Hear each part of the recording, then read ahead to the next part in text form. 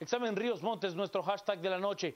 Y es que hoy se reabrió el juicio por genocidio en contra del general retirado José Efraín Ríos Montt. En un inicio se hacía una videoconferencia desde el hogar de José Efraín Ríos Montt. Se presentaba un estudio realizado por parte de el, del INASIF para determinar pues, que no estaba en condiciones José Efraín Ríos Montt de enfrentar un juicio el eh, juzgado de mayor riesgo ha determinado que este examen podría tener alteraciones y por eso ha ordenado que se le practique un examen a José Efraín Ríos Montt, pero dentro de las instalaciones del Hospital Nacional Federico Mora. Esto, eh, por supuesto, que no ha sido del agrado de la defensa del general retirado. Escuchamos la nota y entramos al debate con Examen Ríos Montt. Las noticias nacionales son presentadas por Azúcar de Guatemala.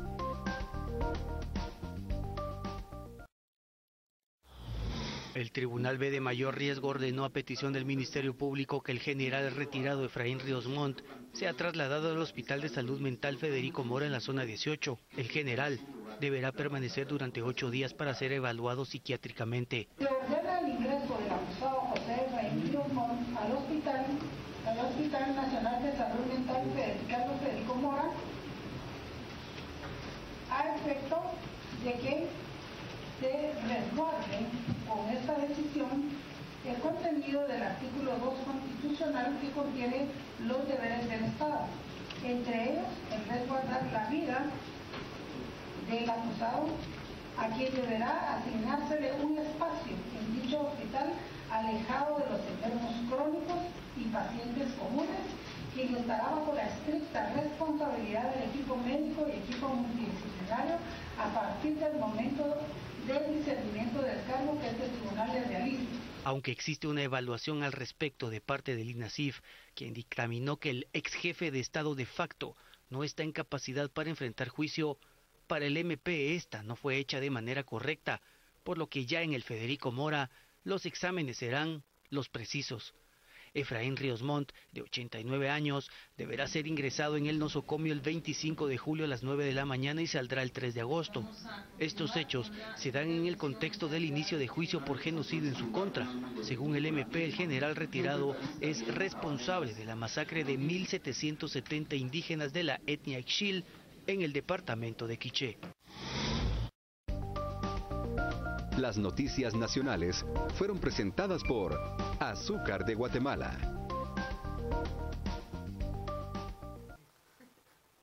Examen Ríos Montes, nuestro hashtag de la noche, será un tema que sin lugar a dudas genere pasiones como lo ha hecho a lo largo de todo el día. Sergio Rodríguez nos dice cortina de humo, cortina de humo, cortina de humo. Jacqueline, puro circo, hay que pedir una segunda opinión. Víctor Gutiérrez no podría ser más justo. Ese lugar está así gracias a él que lo dejó allí, nos dice el doctor Hernández.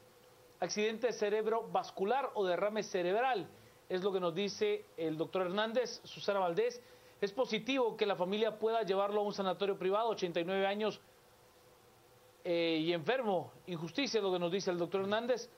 porque clínica padece un accidente cardiovascular o pareciera drogado, no coincide con demencia senil, hay que internarlo y diagnosticar correctamente. Rodrigo nos dice seguramente no lo que esperaba la defensa, le tocará visitar el rebonito, Federico Mora, es lo que dice Rodrigo, y María, como que alguien está detrás para hacerle la vida de cuadritos a esta familia, y son los mensajes que tenemos hasta el momento. Yo le tengo que decir una cosa, y es que eh, hoy, pues una publicación de Quique Godoy en sus cuentas de redes sociales ha sido bastante retuiteada, ha sido también compartida en Facebook de manera viral. Vamos a estar hablando del tema, lo haremos en nuestro segundo, eh, segundo bloque. Primero tocaremos nuestro primer bloque de análisis con el hashtag Examen Ríos Montt y luego, por supuesto, que estaremos hablando del tema porque Quique está con nosotros esta noche. Le doy la bienvenida, las buenas noches y la palabra al licenciado Cristian Manolo Castillo. Quique, eh, muy buenas noches, Juan Carlos. Estamos en un... Eh, momento histórico para el país en donde la justicia se da, cae, es una justicia que cae por su propio peso. Y lo planteo en términos del caso chileno. El, dictador chileno eh, termina sus años prácticamente en condiciones muy similares a las del general Efraín Ríos Montt. Estamos hablando de Augusto Pinochet. De Augusto Pinochet, luego de todo lo acaecido durante el régimen pinochetista en Chile, él en la decadencia, en la, última parte de su vida, es eh, prácticamente capturado en Inglaterra y termina sus días eh, pues enfrentando la ley de su país. Pero suficiente castigo fue haber estado en Inglaterra prácticamente casi dos años preso en una situación jurídica, en un limbo jurídico que no le permitía ni regresar a Chile para enfrentar a las cortes chilenas, ni enfrentar directamente a las cortes inglesas. Y es, son esas acciones históricas de, la política en donde aunque no se aplique la justicia tácita, hay una especie de justicia implícita en todo este tipo de acciones. Y es que el artículo 89 del Código Penal, y agradezco a la licenciada Jock que me, que me refirió el artículo del Código Penal 89, que dice Textualmente, cuando un inimputable de los comprendidos, de los comprendidos en el inciso 2 del artículo 23 cometa un hecho que la ley califique de delito, se ordenará su internación en un establecimiento psiquiátrico hasta que por resolución judicial dictada con base en dictámenes periciales pueda modificarse la medida o revocarse si cesó el estado de peligro del sujeto. Es decir, eh, se le está aplicando... ¿Hay estado de peligro del sujeto todavía? Eh, bueno, básicamente aquí lo que, lo que se está planteando es que el, estado de peligro ha sido planteado por la defensa, que no ha querido que se llegue a juicio. Y, por eso se cae el juicio del, del, 2009, 2009-2010, precisamente porque la estrategia de la, de la eh, defensa era que no enfrentara juicio penal. Y se cae la sentencia final precisamente por fallos o en el procedimiento del, juicio. Me parece que la estrategia sigue siendo la misma. Y lo vimos hoy claramente con la defensa cuando eh, reacciona ante una decisión de juez competente que tiene un fundamento judicial. Entonces, realmente eh, ahí es en donde está eh, la intención de, que no se quiera aplicar la justicia, Kike. Y es, entorpecer el proceso al punto de evitar que él enfrente la justicia. Vamos a tocar el tema, por supuesto. Estamos esta noche con nuestro hashtag Examen Ríos Montt y nos dice Alejandro, eso le pasa por usar fármacos para evadir la justicia. Ninguno es superior a la ley. Majestic, el Federico Mora no es el infierno que lo pintan. Hay grandes profesionales. No hay que hablar si no se sabe, es lo que nos dice Majestic. Eh, una decisión tomada desde el hígado con quien quiso quedar bien, la señora juez, es la pregunta. Edwin, ¿por qué no juzgan a quienes están matando niños y adultos por corrupción y violencia? No seamos fariseos, es lo que dice Edwin. Más de 100 mil. La verdad eh, que el eh, señor ya está grande, ya deberían dejar ese tema a un lado. Creo que si su genocidio, ya Dios, si hubo genocidio, pues ya Dios lo juzgará, es lo que dice Brian. Tommy, Así se le paga al militar que nos dio la oportunidad de tener la poca libertad y no caer en las manos de los comunistas. Celio nos plantea, eh, como técnica y legalmente corresponde en, en el tiempo del proceso. Y Leslie, en ese caso hay intereses políticos de por medio, es una vergüenza la justicia guatemalteca y no hubo genocidio, es lo que plantea Leslie. Ahí le hablaban a Cristian en uno de los tweets. Es, un tema... Pero he de, decir, decir, Quique, y a la compañera que está tuiteando que sí hubo genocidio, lo que pasa es que no, se ha querido abordar. comunista te Ah, Si no, a eso me refería yo que te digo. No, bueno. Sí, pero es que bueno, a ver, ¿por qué haces un poco el argumento? Que justamente aquí lo que hay una persecución ideológica, ideológica más no. una persecución penal per se. Entonces el argumento surge nuevamente como cuando se dio el caso de genocidio per se, hace ya un poco más de dos años, que fue la sentencia eh, que después fue eh, suspendida y retrotraído el caso, empezamos con esa misma discusión. Bueno, no fue suspendida, fue eh, por eso, pero fue suspendida en primera instancia y después anulado y retrotraído el caso hasta antes de que se había iniciado el juicio. Entonces, bajo ese esquema, estamos reviviendo otra vez esto, porque si vemos muchos de los tweets no hacen mención específicamente al tema médico. El doctor Hernández y otros sí hacen referencia al tema médico o el artículo 89 que nos leía hace un momento Christians. Pero la mayoría entran por la discusión ideológica y la discusión ideológica tratando de resolver si hubo genocidio o no bajo argumentos ideológicos y en, todo caso quienes entran a la argumentación técnica, legal, de que si hubo genocidio o no, es otro tema todavía. Pero hoy, en este momento, lo que se está discutiendo es si la persona, en este caso el imputado, José Fray Montt, está en las capacidades físicas y mentales para poder soportar un juicio. El argumento del dictamen del INASIF es que no lo está. Y en todo caso, el juez lo que está haciendo es poniendo en duda la objetividad y la capacidad técnica del INASIF y está planteando con esta duda que pudo haber habido manipulación en ese contexto. y esa es una parte que, para mí es complicada. Ahí, está el tema, Kiki. Claro. Ahí está el tema, porque el tema es que a quién se lo le va a pedir el nuevo examen. Eh, bueno, en este caso. ¿Al mismo INACIF? No, no, en este caso, justamente el Federico Mora, y lo explicaba el doctor Genes, que estuvo en el segmento eh, anterior con nosotros, eh, hay una oficina de psiquiatría forense en, dentro de lo que es el Federico Mora, quienes lo hacían incluso antes de que existiera Solo hagamos una, una acotación al respecto para aquellas personas que como yo puedan cometer el error de pensar que cuando se habla de forense se habla de un muerto. Forense se habla del foro romano, de carácter legal. O sea, de oficina de psiquiatría. Hay auditorías forenses, que eso es fiscal o claro, estamos hablando para este temas netamente forenses referentes es un peritaje, a temas legales. Es un peritaje donde lo que va a hacer la persona que sea designada ahora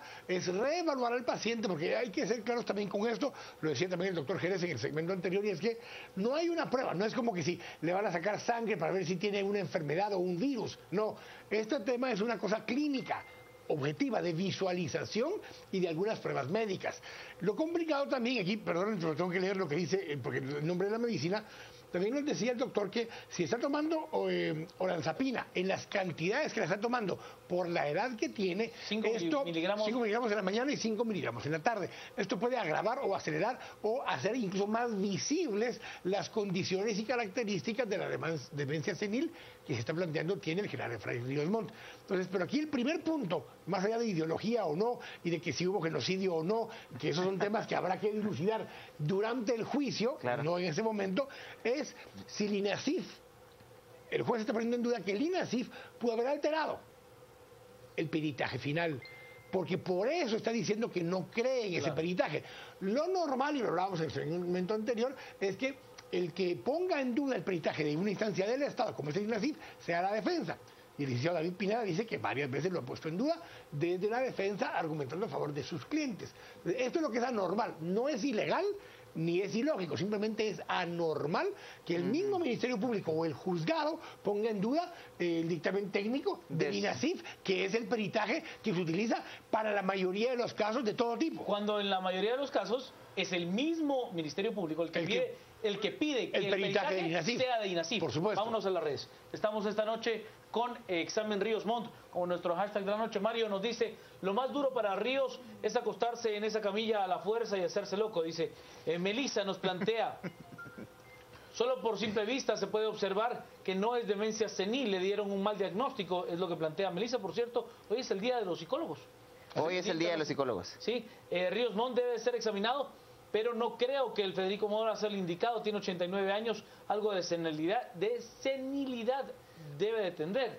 Dice Ana, el doctor Hernández, tema polémico, para algunos venganza, para otros justicia, pero debe de ser institucionalidad y Estado de Derecho. Maripaz, pues yo pienso que deberían de pedir una segunda opinión y de ser la misma mínimo otro lugar al que lo manden. Ese es otro tema y es creo el que le vamos a entrar ahorita, lo que está planteando Maripaz por qué justamente el examen debe ser en el Federico Mora y la defensa argumenta de que listo, que lo haga un experto en Federico Mora y que lo haga pero, pero, ahí hay dos cosas diferentes porque lo decía Cristian. Una cosa es quién va a ser el segundo peritaje y otra cosa es dónde puede ser recluido la persona. Lo que dice el artículo 89 es que si no está en la capacidad de, atender por razones mentales o físicas el juicio, debe ser recluido en una institución donde pueda eh, ponerse al punto para poder participar del juicio en su momento. Para eso sí podría en todo caso solicitar la familia que sea en Los Pinos, por ejemplo. Pero en la discusión de quién debiera poder hacer el peritaje, si el Federico Mora es una institución del Estado y tiene la capacidad de psiquiatría forense, pues sí es natural que sería una de las opciones. Aunque también podría pedir un peritaje privado en la familia y contraponer el peritaje de INASIF, un peritaje privado y el peritaje de Federico Mora para que el juzgado ante eso compare y decida cuál es la validez. Los que hacemos. Boylick, en un segundo, solo nos vamos con esto. Libertas nos dice, para que Guatemala alcance verdaderamente reconciliación, debe de reconocerse los hechos del pasado y alcanzar justicia. Linda, a ver si a alguien le gustaría que le hicieran esto. Esto no es ni cerca justicia, quieren castigarlo antes de ser juzgado. Wichis nos plantea, pobrecito, qué tristeza, pero lo bueno es que dicen por allí que el Federico Moro está reunido. Ana Castillo nos plantea, ¿y cuándo van a juzgar guerrilleros que también mataron civiles y soldados? Lo que pasa es que solo el general pudo derrotarlos. Rafael nos dice, La verdad de verdad es, es que el juicio llega demasiado tarde, tuvo que haber sido en los noventas. Es delicado el tema, pero siento que es notorio que el general Ríos Montt no está bien. Y Andrea Obando nos plantea, qué mal que se haga esto, ¿realmente creen que poseen allí los recursos para examinarlo? ¿Y quién eh, lo manda a estar mintiendo? Es lo que dice Luis Hernández, parte de los mensajes. Lee Castillo. Bueno, eh, yo quisiera referirme a lo que estoy eh, encontrando en las redes y en el debate en las redes que han llegado tanto al canal como a mi red personal, y es que está aflorando nuevamente el, debate ideologizado.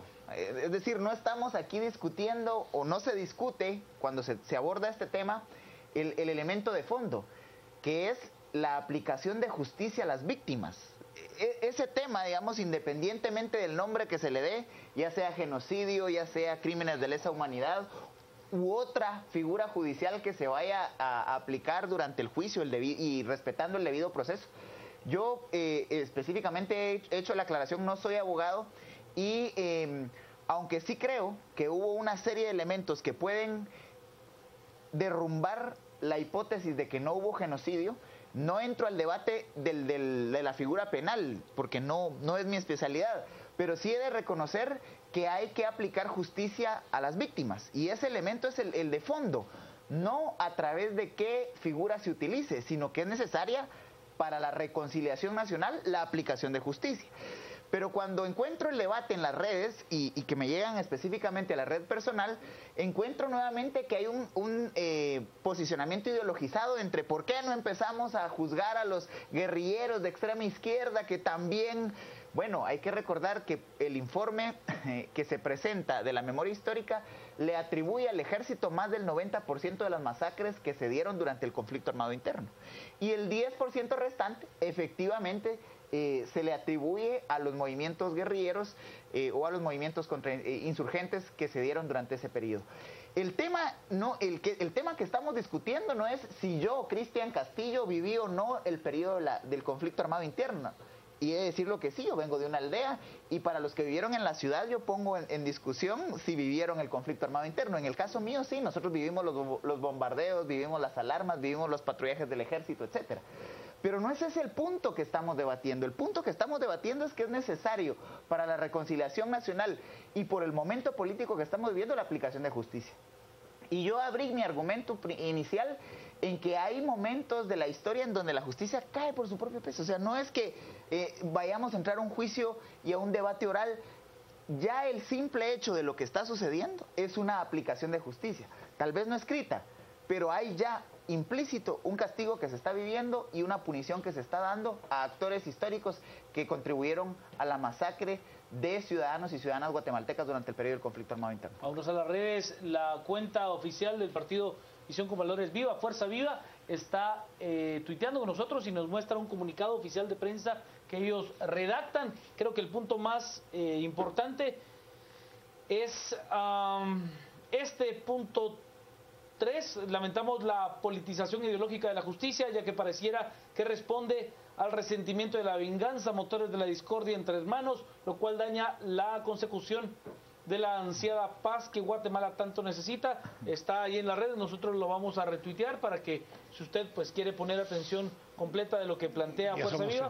Eh, sí, ya somos con examen Ahora, Ríos Montt. yo ahí tengo una duda y pues obviamente son eh, libres de publicar lo que quieran los partidos, pero este es un caso de la familia Ríos Montt y aunque efectivamente Suri Ríos es la candidata presidencial, no es un caso del partido. Claro. Ahora, si lo están convirtiendo en un caso del partido, están metiendo al partido en la discusión de si hubo genocidio o no.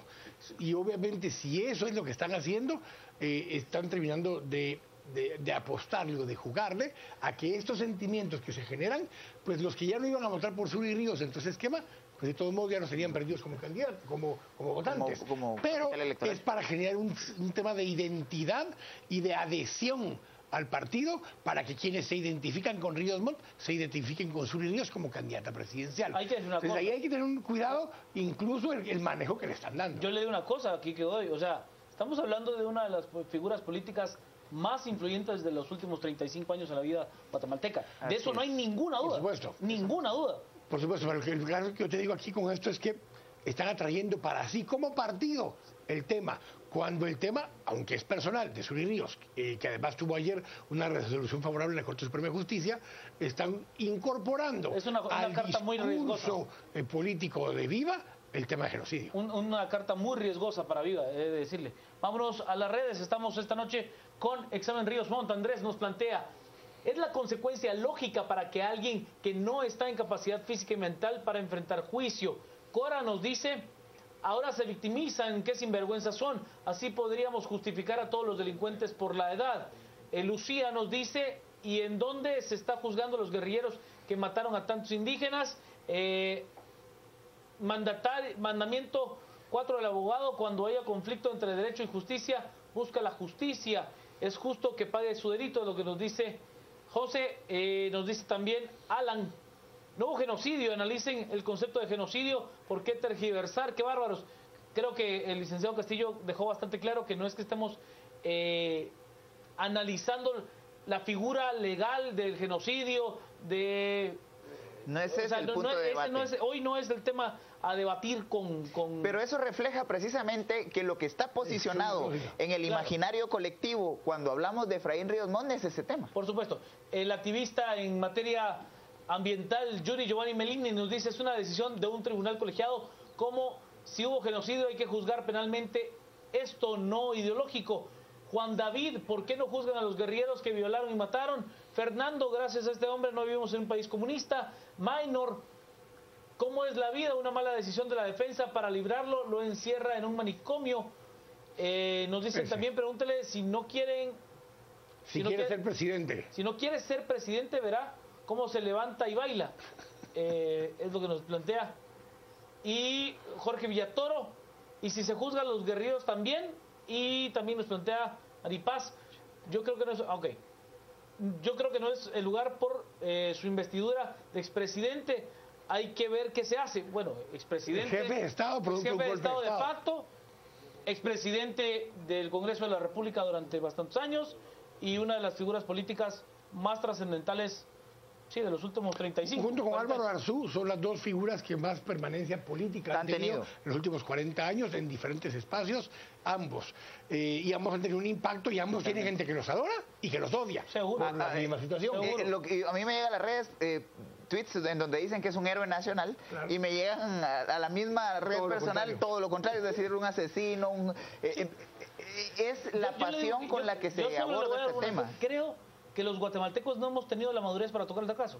O sea, porque circunscribimos nuestras ideas a una frase, si hubo genocidio o no hubo genocidio, y no logramos entrar en un detalle más profundo. yo creo que tenemos que llegar un poco al tema que la, que la licenciada, yo creo que fue la que le envió el artículo 89 a Cristian, si es ese tema. En este momento, como lo que está argumentando la defensa del general José Fray Ríos Montt es que no está en la capacidad física ni mental para poder eh, proceder con el juicio en su contra, porque no entienden ni tienen la capacidad de comprender eh, los, el caso en su contra, ni poder participar de su defensa, eso lo hace inimputable en este momento. El artículo 89 plantea que si alguien cae en esta situación, no queda libre y se vaya para su casa y se acabó. Son dos cosas distintas. Uno, el juicio continúa porque hay otros imputados. Y como hay otros imputados, en este caso el general Rodríguez, el juicio continúa en ausencia de José Fray Ríos Montt, porque en este caso, eh, si es que se llega a determinar esto, en caso fuera inimputable su situación. Si es inimputable, o sea, si no se le puede perseguir penalmente por el caso, lo que correspondería es que tiene que ser recluido en un centro asistencial para problemas con, eh, con, problemas mentales, porque eso es lo que dice su peritaje, para que desde allí se le pueda dar acompañamiento y seguimiento, para que en el momento que ya estuviera en capacidad física y mental de poder pasar por el juicio, se retomaría el caso del juicio, porque la inimputabilidad es mientras prevalece su condición. Ahora, el dictamen, el peritaje de INASIF dice que esto es progresivo e incurable, pues. y que entonces se va a seguir deteriorando en el tiempo, y es natural y es normal que así pudiera ser. Pero tiene que estar bajo observación de este caso, una instancia designada por el juzgado para cuidar y velar porque la persona que está siendo imputada, mientras esté en condiciones de inimputabilidad, tiene que tener un acompañamiento y, presencia permanente de en este caso, el Federico Mora, que lo están planteando. Y Quique, también el, licenciado Gracias, que se suma al debate y ha hecho aportes muy interesantes, eh, plantea otro elemento importante, que para la inimputabilidad hay que también ser declarado peligroso, que era un poco el, elemento que planteabas en tu primera intervención. Eh, aquí eh, él en sí mismo ya no está en condiciones de ser declarado peligroso. sin embargo, hay condiciones que harían pensar que es parte de la estrategia evitar iniciar un juicio. Y entonces, em, uno de los elementos y de los argumentos del estudio es que las pruebas se le hacen cuando estaba bajo los efectos del medicamento. De la olanzapina. De la, eh, de la olanzapina. Entonces, hay ahí una alteración del estado, digamos, de, la condición... Eh, de la conciencia. De la conciencia para poder enfrentar... Y la consulta el doctor eh, Jerez, que nos acompaña, Álvaro Jerez, y él justamente decía que sí, en efecto, especialmente por la dosis que se le estaba aplicando, podía o magnificar o incluso alterar la condición natural que tiene en este momento, eh, que es esa condición como de sedado que aparenta tener. Entonces, más allá de la interpretación eh, ideológica o política de lo que está sucediendo, ya hay condiciones médicas que han sido establecidas y que mediante el artículo 89 que planteaba, que nos, eh, sobre el cual nos hacía reflexionar la licenciada Yoc, pues hay una resolución que tiene fundamento jurídico que permite tener una segunda opinión. Esto me parece que es válido dentro del debido proceso, porque tanto a la licenciada yo como al licenciado Gracias, que han estado muy activos en el debate esta noche, eh, y a quienes les agradezco sus argumentos, pues obviamente eh, lo que hay que respetar es eso, el debido proceso. De acuerdo, de acuerdo. Creo que el, debate que plantea la, la defensa es por qué necesariamente la segunda opinión debe de ser recluida en el, médico. Creo que es el argumento de la defensa. O sea, mire, yo tengo la capacidad de ponerlo en una institución que tiene las capacidades. Creo que no se esperaban eso, Juan Carlos. Creo que lo que se esperaban es que iban a considerar que efectivamente era inimputable y que se quedara en su casa. Bueno, presentaron seis acciones de inimputabilidad. Y eso es lo que estaban buscando a que se iba a hacer la resolución. Ahora, eh, lo que sucede en este caso es que al verse enfrentados con esto salen con esta alternativa. Incluso la alternativa incluso del juez es dejarlo incluso bajo el cuidado de su familia. No es obligatorio que lo recluyan, pueden dejarlo eh, bajo el cuidado de su familia y que sea allí donde se le dé seguimiento con visitas periódicas de ya sea el INACIF o del Federico Mora para acompañar el proceso y ver si ha mejorado o no la condición del imputado. Ese es un poco el balance. Ahora, el tema en el fondo sí tiene que ver con que eh, el, caso está allí, tocaba reanudar el caso nuevamente porque lo que solicitó la defensa en el juicio anterior fue que se le retrojera todo a este punto. Entonces, eh, la razón por la que estamos ahora, en este momento, reiniciando el caso, fue a solicitud de la defensa. Y se está retrotrayendo todo a este momento del caso. Bueno, en su momento la defensa incluso rechazó el que el examen fuera realizado por el INESIF. Originalmente sí en su momento, ¿sí? O sea, cuando el resultado del examen fue positivo. Fue positivo. positivo para ellos. Claro, lo, lo validan. Lo, lo, validan y lo, lo, dan como bueno y ahora es la prueba que ellos presentan. Eso es parte del argumento. Vámonos a las redes. Estamos a esta hora como el tema más comentado en Twitter con Examen Ríos Montt. Y que el general lo manden al Federico Mora es justicia, le pregunta al licenciado Castillo. Diana, el señor tiene que hacer lo que la ley manda. Si no hizo nada, ¿por qué tanto miedo a un juicio? Es lo que dice Diana. Eh, Byron nos dice, es solo, eso solo confirma que todo se paga en la tierra, dice Byron. Eric, amnistía tenía que ser para ejército y guerrilleros, cobardes, nuevo genocidio, ideología, eh, libertad comunismo obvio, es lo que nos dice Eric. Eh, Creo que son número uno en el... Ah, sí, sí, en el tema hemos comentado. Es caer muy bajo, está senil, tiene 89 años y la justicia es más eh, víctimas de guerrilla, nos dice. Y también, Coach Nájera, la pregunta del millón es, ¿gana algo Guatemala con este juicio? Démosle la vuelta a la página y enfoquémonos en el hoy. Mario Aceinturo, una periodista para ahondar, debe de ser suspicaz y creo que el Ministerio Público por lo mismo está haciendo su trabajo, es lo que nos dice Mario. Vea, qué mal que solo se conoce una cara de la moneda, deberían investigar para ser imparciales. Y Yuri Melini nos plantea, el Federico Moro es un centro hospitalario, hospitalario calificado y con personal altamente profesional para evaluarlo. Ahora, cuando dijo eh, Roxana Valdetti que estaba re bonito, le cayeron a palos. Ya vamos a entrar con venía, Valdetti. venía, Tranquilo, viene- tranquilo, viene además que ya- el ya vamos de la ella. BBC, Fue donde decía que era la vida. Y ahora resulta que no siempre sí, está re bonito y está re bueno el, el Federico No, Mora. no, no, hay que, hay que ser, hay que ser justo. O era o no era. No, lo usamos para darle palo a Roxana Valdetti por el documental de la BBC, pero ahora resulta que es nítido el Federico Mora. No, hombre, ser. o sea, por eso le digo, hay que Y es el más hay- especial para hacer el estudio. Y- Y, y otra cosa es el, el personal médico. Yo no estoy diciendo que no. El personal médico que está Las ahí y la en psiquiatría forense, en todo caso, que está ahí, son de primer nivel y eso no estoy discutiendo. Pero no se vale que entonces cuando convenía, como es de babosa la vicepresidenta, porque como hace ese comentario y dice que está re bonito. Y ahora resulta que está nítido el Federico Mora. No, no puede ser las dos cosas. Vámonos a la pausa. Estamos a las 10 pm. Vamos a cerrar el espacio con nuestro hashtag de la noche, Estudio Ríos Montt, porque vamos a tener un par de minutos referente a otra nota. Le voy a dar eh, espacio en las redes, luego cierro con Cristian Castillo. Aria Ishil nos dice, ¿Cuántas personas han sido juzgadas por el Ministerio Público y no dudaron del INACID? ¿Habrá presos inocentes? Es lo que nos dice Ari Shil. El lobo siempre será el malo. Si Caperucita es quien cuenta la historia, es lo que nos plantean. Eh, Lucía Hernández, hay políticos a los que no les conviene que este tema se supere en tanto haya división en el país. Ellos ganan, plantea Lucía.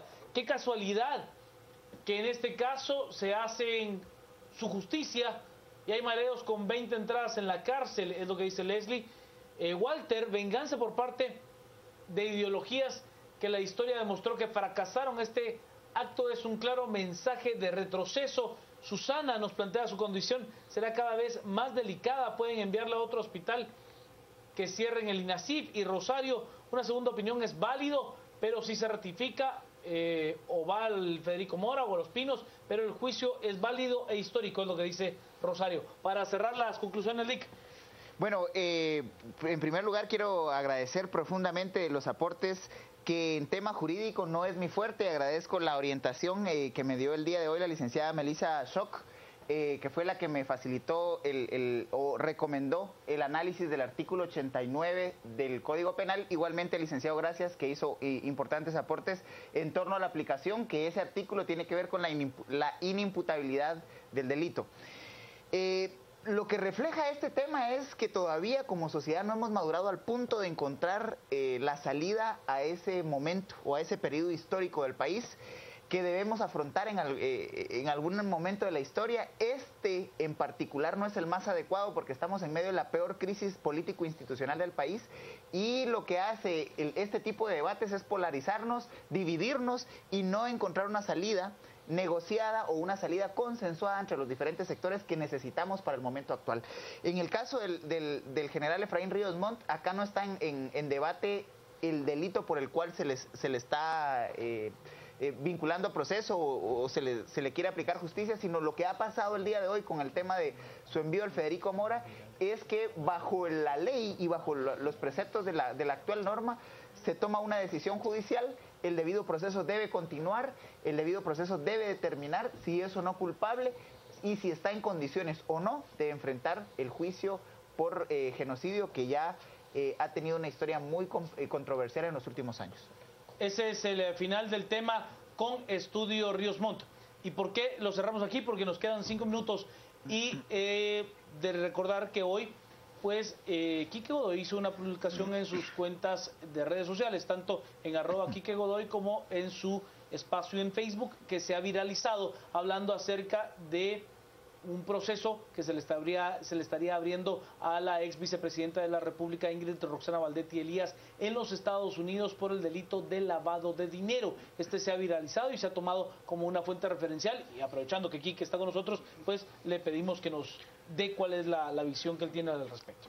Lo que pasa es de que, como en la mañana hubo unas publicaciones, tanto en, las, en la cuenta de prensa libre como incluso en la cuenta de Guatevisión, cuando salen esas publicaciones, después se argumenta que había sido un hackeo y que no era real. La publicación decía que había una solicitud de extradición eh, para, eh, pedido de Estados Unidos para la ex vicepresidenta Roxana Valdetti.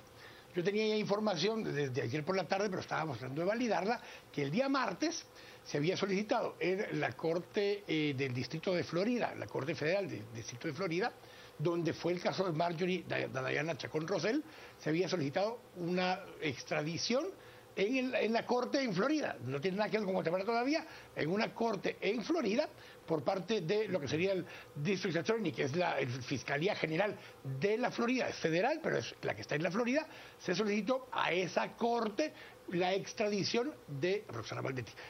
La primera fuente con la que consulté lo que decía es que ya estaba autorizada la extradición por parte de esa corte.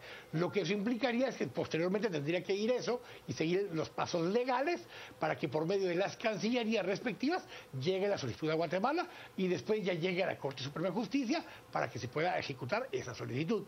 La otra, la otra versión es que lo que se hizo el martes fue iniciar el proceso. Se solicitó por parte de la Fiscalía General eh, Federal con sede en el Distrito de Florida la extradición ¿Qué quiere decir esto? Que no ha sido resuelta todavía esa solicitud.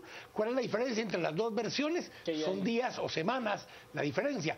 Pero lo que es un hecho, y esto es lo que, lo que yo publicaba hoy por la tarde, y lo hice para aclarar, que independientemente de las publicaciones de esos otros medios y que argumentaron después de haber sido hackeados, lo que nosotros estábamos planteando allí era justamente que esa corte había autorizado ya la eh, solicitud de extradición y que eso inicia el proceso de solicitud de extradición de Roxana Valdetti. Ese fue el planteamiento que yo hacía en ese momento.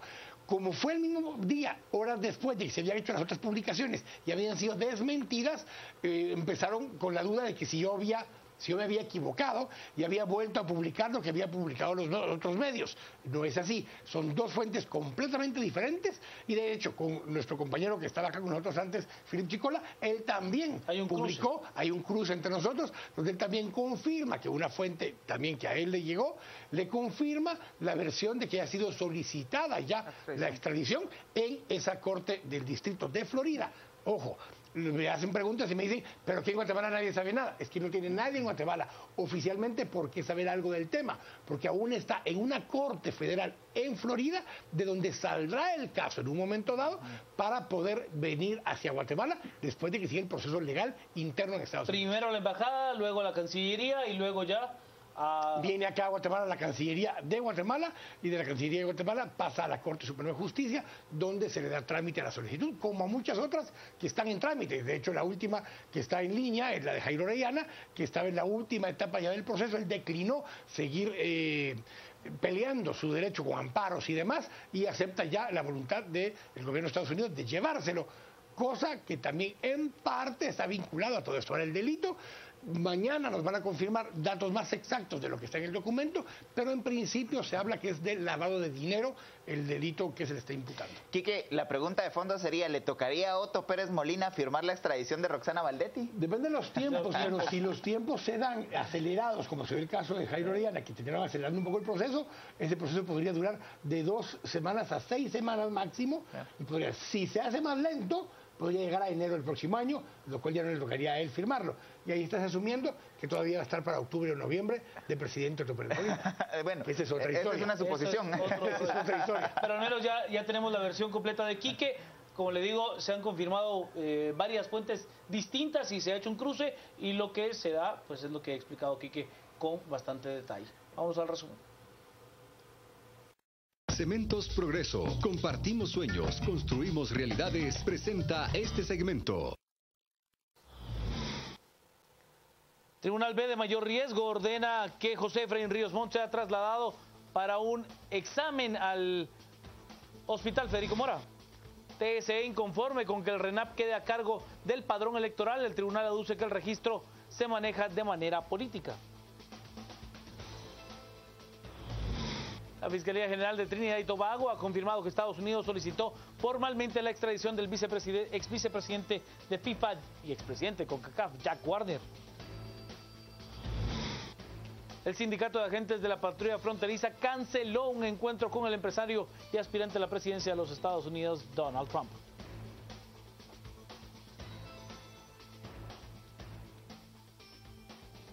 Cementos Progreso. Compartimos sueños, construimos realidades. Presentó este segmento. Hasta aquí llegamos esta noche con nuestro tema. Le agradecemos a usted por haber participado abierta y libremente. Es sin lugar a dudas un tema que desata pasiones y que por supuesto los guatemaltecos debemos de aprender a manejar y a convivir con lo que eh, con la tolerancia que se requiere tratar un tema de este de esta envergadura. Gracias a usted. Castillo, Godoy, Sandoval, que te guste una noche muy hermosa.